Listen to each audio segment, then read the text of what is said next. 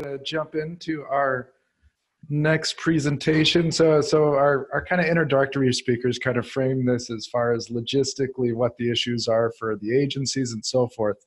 Um, our next speaker, uh, Clinton Campbell, is from USDA APHIS and, and is really going to put this in more practical, you know, what the real challenges are. And, and every time he gives this talk, I learn something new and, and awe-inspiring on the the insurmountable jobs that that that these agencies have to try and protect us from from uh, species as they come in across the border. So with that, I'd like to introduce Dr. Clinton Campbell from the USDA APHIS uh, program to talk about the pathways of species invasion. here's your pointer. Your timer is Rachel. Well, good morning. Um, yes, I'm uh, Clinton Campbell with the United States Department of Agriculture, Animal and Plant Health Inspection Service, Plant Protection and Quarantine, which is quite a lot to say. And uh, I'm in uh, the Washington and Alaska office, uh, located in Federal Way, Washington. Therefore, it's appropriate that I'm standing on the edge of Washington State with an Alaska State Ferry in the background. And even if it hadn't been there, I have my Alaska hat on. I'm going to talk about pathways of uh, species invasion, and uh, one of the key things will be uh, some of the unusual circumstances we've encountered in the past that have helped shape at least my thinking of pathways.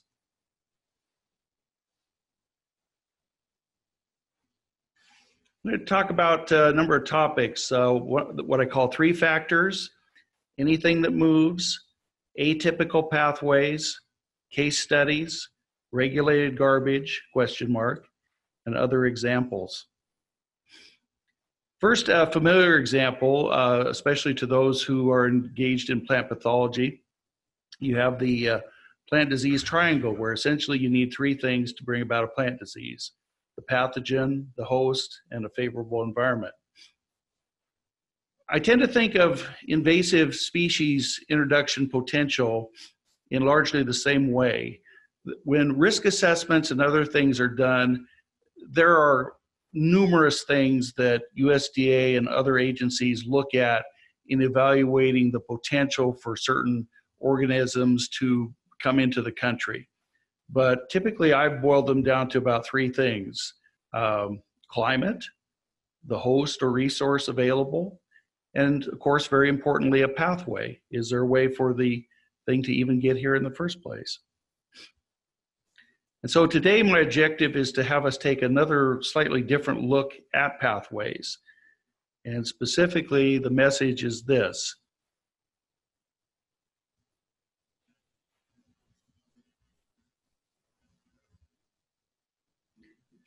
anything that moves can move an invasive species. It's really as simple as that.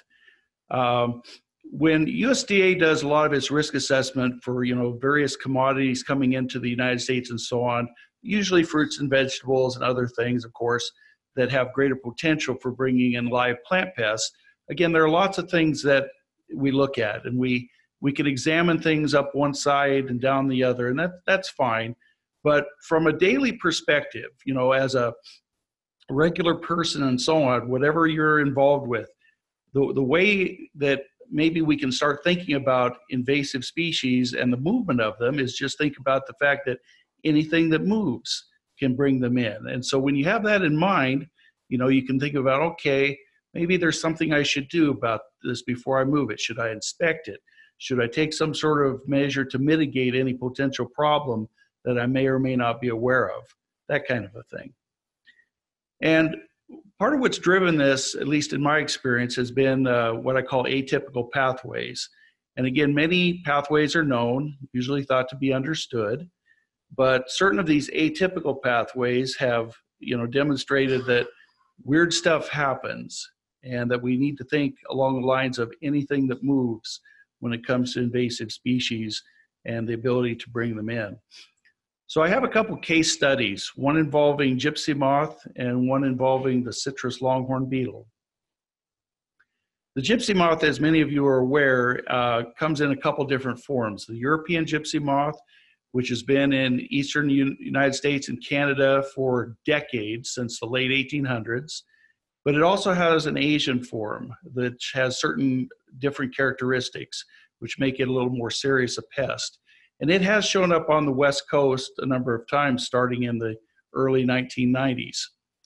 And uh, anyway, both have been a large uh, concern for both countries, Canada and the United States, for again decades. And there's been uh, active programs available due to the advent of good traps and good lures for gypsy moth for at least the last 40 years. And here's a picture here of the male uh, gypsy moth and the female. And the, the difference between um, the European and the Asian form of gypsy moth is the female, although it has wings, does not fly, cannot fly. Whereas the Asian form of gypsy moth, the female is flight capable. And that's what can allow it to spread very fast if it comes into an area. Now, the typical pathway for European gypsy moth, the one that's found in the eastern part of North America, uh, at least for our purposes out here in the West, is what we call outdoor household articles or OHAs. And they can be the kinds of things you see there on the screen outdoor furniture, firewood. We've had a number of cases in the state of Washington where people have brought their birdhouse with them. And inside the birdhouse are gypsy moth egg masses, it's later determined. Uh, even fancy cars or not so fancy cars have been found to have uh, gypsy moth egg masses on them. They don't even have to be cars that somebody is driving.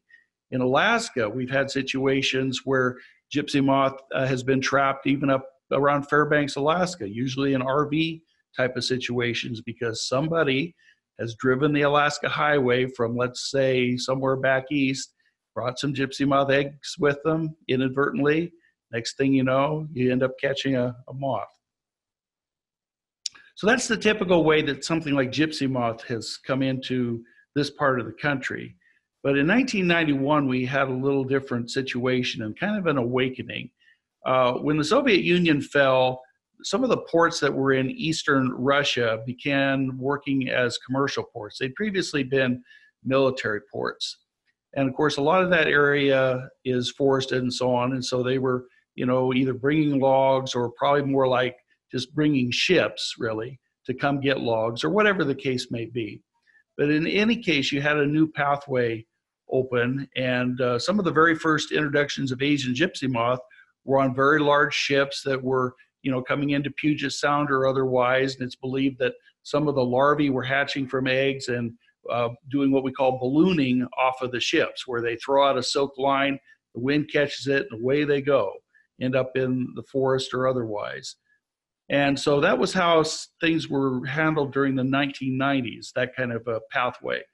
But uh, later on, toward the end of that decade, we had a rather uh, unusual situation, as I say at the bottom of this slide, in 1999, involving the U.S. Marshal, a uh, couple of Russian fishing ships, and it resulted in some real fireworks because what happened then was even though it was a Russian ship, it did get inspected after it had been seized by the U.S. Marshal off of Port Angeles and brought into the Seattle area it was docked in an area that wouldn't normally be you know used by the commercial ships or anything like that and it was inspected and found to have some gypsy moth egg masses usda even went so far as to try to have it tarped and fumigated which i wasn't there but i've been told that the tarps were flapping in the wind and the fumigation was not exactly working very well so anyway the state of washington very wisely put out extra traps ended up catching a male Asian gypsy moth a half mile from where this ship was brought in.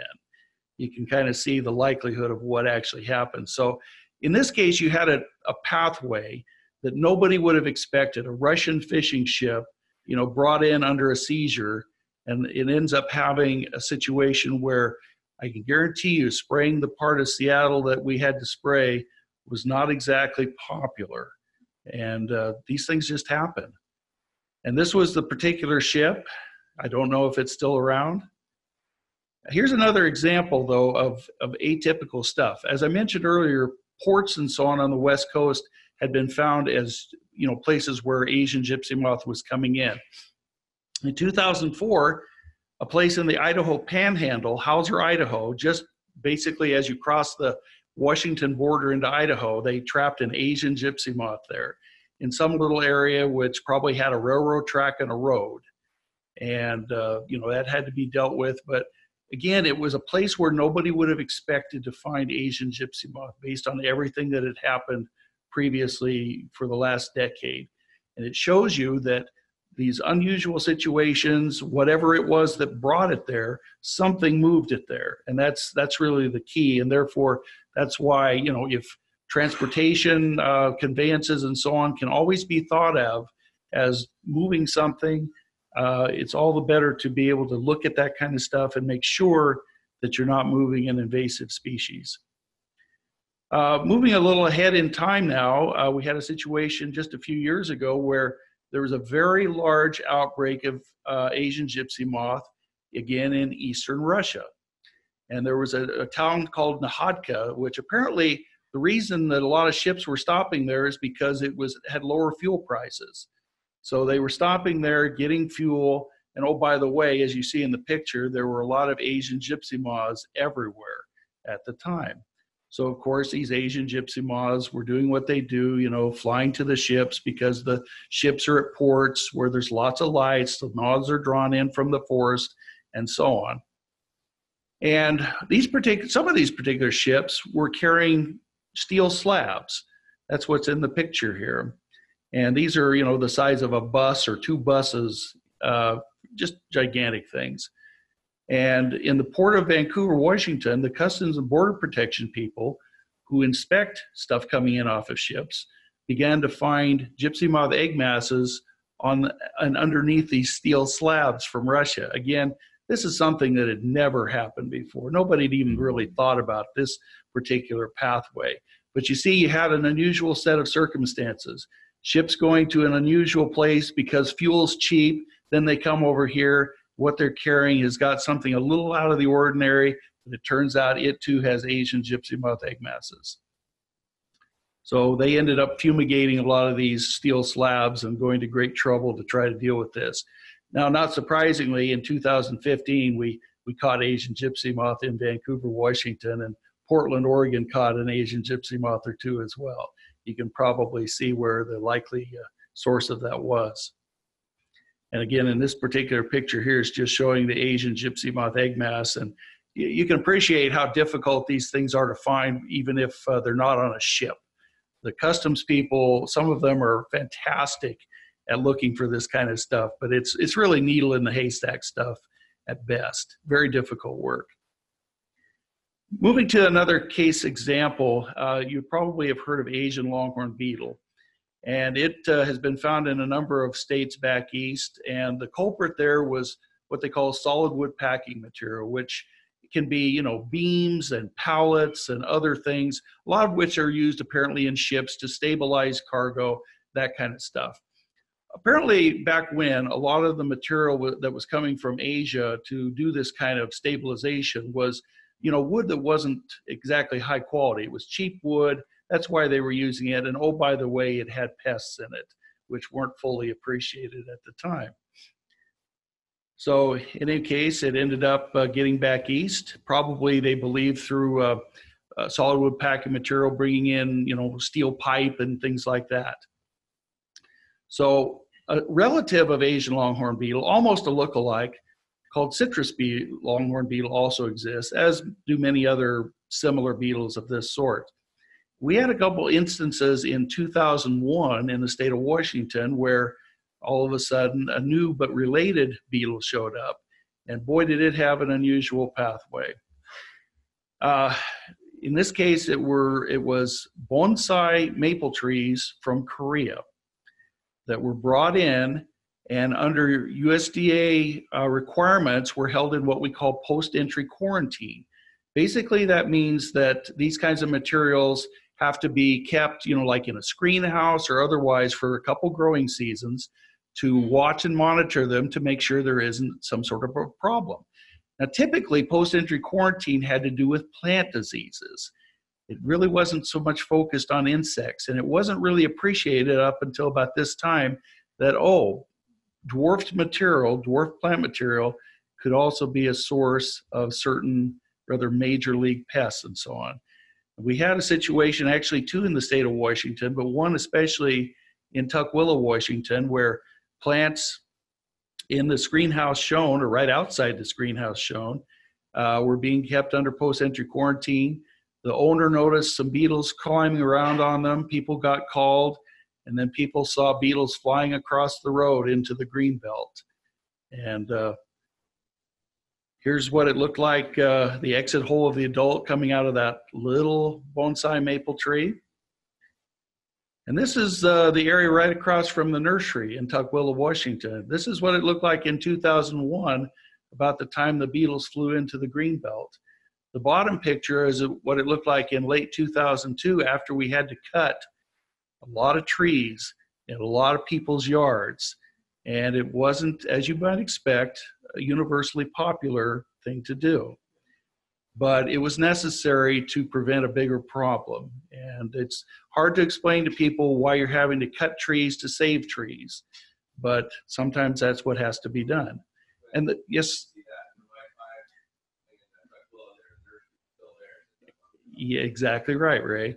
And the good news is that uh, years of monitoring after the action was taken uh, yielded no further beetles. So we believe we were successful despite the fact that this cost a lot of money and it was not an easy thing to do.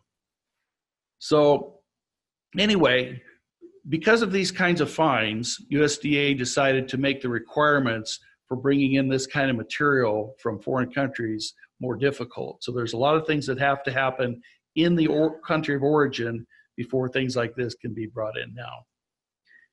I should also mention that there's a lot of, you know, as you would expect, inspection of solid wood packing material for things coming in from ports also. And uh, I was just informed by one of my colleagues today that, uh, uh, you know, they found some interesting things in Portland just yesterday. So it continues. It's it's not something that uh, goes away. I throw in regulated garbage just because that's that's a pathway that I had not appreciated until a few years ago when they told me that I got to do regulated garbage in addition to other duties. Uh, regulated garbage, in short, is uh, you know everything from wrappers and uneaten meals on aircraft and ships coming in from foreign countries to the United States, with the exception of Canada. Canada is the only country from which garbage is not regulated. And the reason garbage is regulated is because of foreign animal diseases, but also the potential for plant pests and so on coming in with things that, if they were not disposed of properly, in this case, steam sterilization or incineration, could, you know, if allowed to get loose, cause problems for agriculture and the general environment. A couple other examples of atypical pathways that I've run across. Once uh, years ago, we had a call from uh, a blueberry farm They'd gotten plans for Michigan. This was way late in the season. And they said, We've got these Japanese beetles climbing around once we opened the boxes of blueberries. This, this would not have been expected at all. Again, it was late in the season, et cetera, et cetera. Things probably should have been, at a minimum, inspected in Michigan or otherwise. So, you know, these people ended up getting their backhoe out and digging a hole six feet deep and burying everything, which was the proper thing to do. Other examples that I've been involved with, when I worked in Hawaii many years ago, people had brought in a uh, snail from South America for the aquarium trade or possibly as an escargot snail. After they got tired of it, they decided to throw it in ponds and waterways, and you know some of which were farmed similar to rice. Thank you. And uh, it got away, of course, led to all kinds of problems. Uh, by the time I left Hawaii, it was still part of the fight, and I honestly don't know what came of it. But uh, again, these things happen that aren't always anticipated, and a lot of this can be prevented uh, either through just thinking about, gee, am I going to move something inadvertently, or uh, you know, just thinking ahead of time, let me do this so I don't move something inadvertently. And then the last example is a red imported fire ant. It's something that's been in the southern, southeastern United States for a long time. Uh, it's a pest that we would not want. We climatically have the potential to have it, not maybe quite as far north as here, but it has shown up in places like Oregon in the sides of railroad boxcars. Uh, it can travel in what are called crane mats, which are big timbers that they move around and lay on the ground in order to roll the tracks of giant cranes for construction around. And a lot of this kind of equipment moves around, you know, without a lot of thought sometimes. But these kinds of pathways have been found to move things like red imported fire ant. And again, a, a lot of them are things that, you know, nobody would even really think had the potential to move something. But again, it comes back to, you know, anything that moves can move invasive species. So anyway, that wraps it up. I'll be glad to answer any questions that you might have and uh, appreciate your time and attention.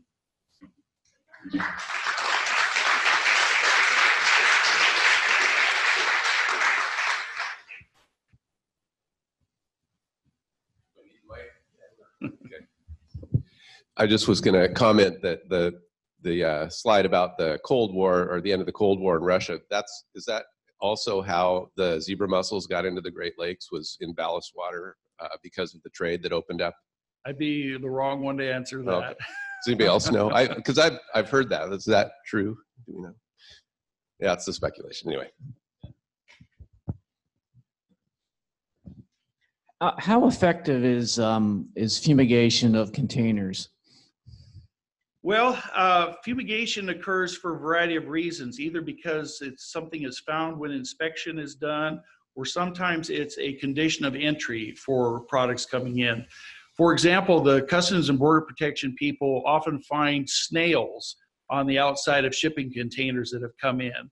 And if they do, there's certain things that will lead up to a fumigation if necessary for the exterior of the container. Sometimes things that are in the containers, a good example is bamboo for bamboo stakes for gardening and things like that. Again, because of the history of finding certain longhorn beetles and other pests in bamboo, a condition of entry for bringing in bamboo is the material has to be fumigated after it comes in. Now, my understanding, just in general, is that fumigation is considered effective. Um, you know, sometimes an actual fumigation treatment may have to be rerun just because of time or temperature considerations, uh, especially in, in climates like this and so on. But I think in general, it's uh, considered to be an effective treatment.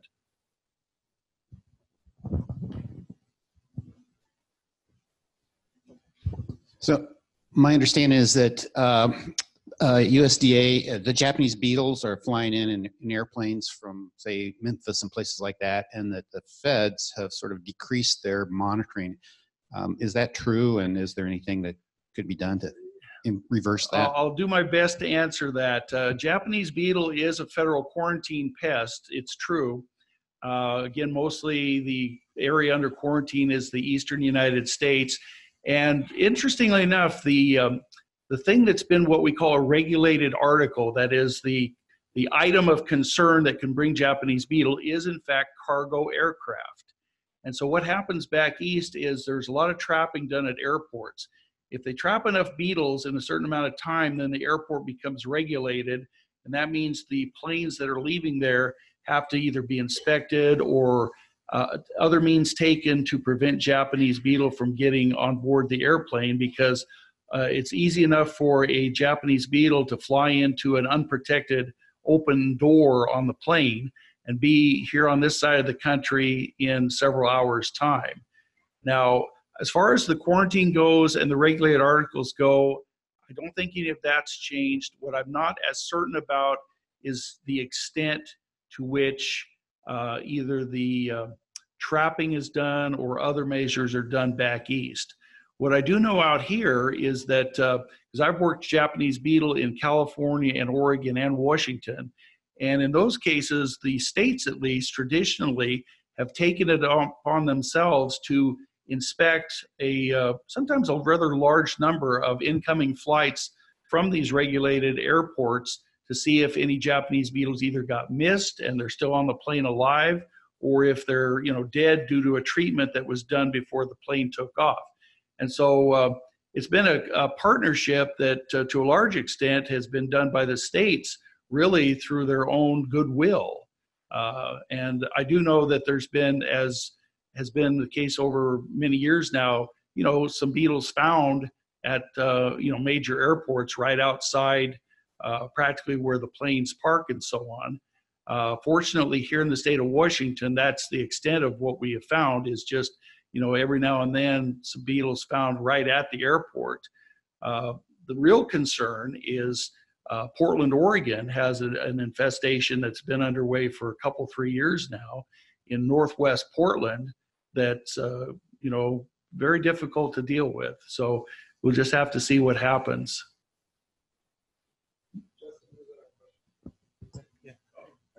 Sorry.